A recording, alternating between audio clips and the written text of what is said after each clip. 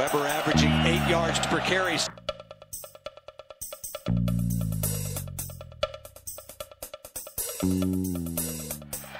And Barrett with ease of clearing.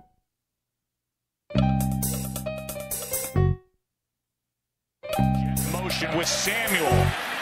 And good job staying.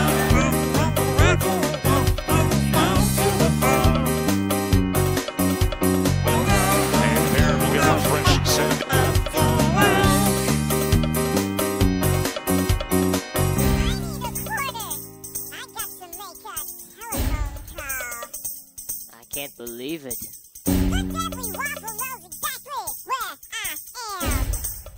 I just can't believe it.